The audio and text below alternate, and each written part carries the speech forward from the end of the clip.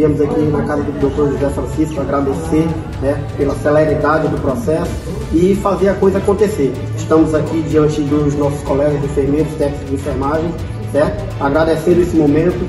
É, sabemos de toda dificuldade, como o doutor falou, isso é nacional, mas graças a Deus nós saímos na frente. São 217 municípios do Maranhão.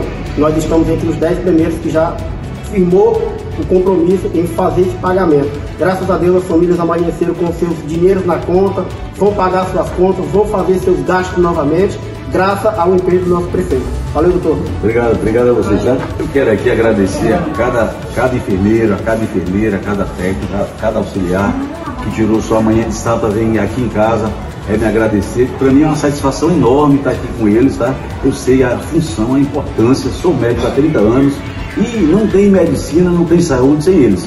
Eu sempre digo que eles são um verdadeiro anjo da saúde, porque nós médicos atendemos, diagnosticamos, mas eles é quem cuida. Poucos municípios conseguiram fazer esse pagamento. Então, nossa preocupação sempre foi essa, fazer essa celeridade em pagar. Precisamos da Câmara para dar o, o, esse apoio, né? Então, quero dizer a vocês que é uma satisfação muito grande, eu sei da importância de vocês, e é por isso que nós lutamos muito para implantar o piso nacional de saúde e enfermagem aqui na cidade de Codó.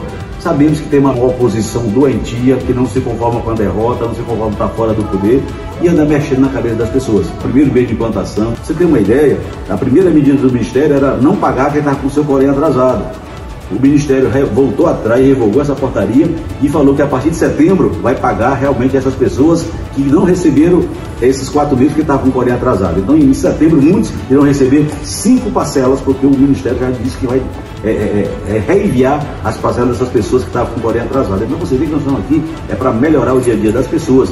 Meu objetivo sempre foi esse, tratar bem do povo de Codó, trazer paz, trazer harmonia e, acima de tudo, segurança e confiança com o povo de Codó.